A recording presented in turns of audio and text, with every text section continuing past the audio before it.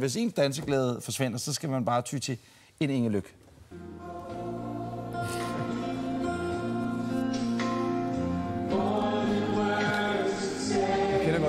Ja, hvad siger du?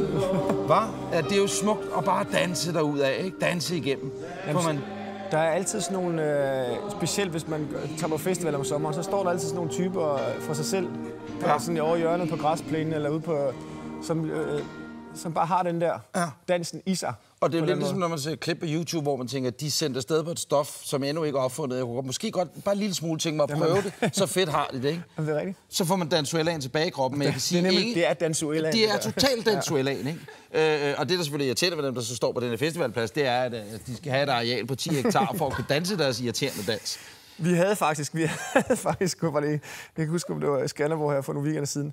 Hun dansede ikke til en dans, men øh, hun havde også ligesom valgt, at hun var der for at danse, og hun står foran. Så der var, kom også der sådan lidt areal udenom hende, hvor folk bliver sådan lidt tørre og tørre, eller hvor det bliver sådan lidt... Øh... Eller skal jeg kaste mig ind i cirklen og danse, ja, ja. ikke?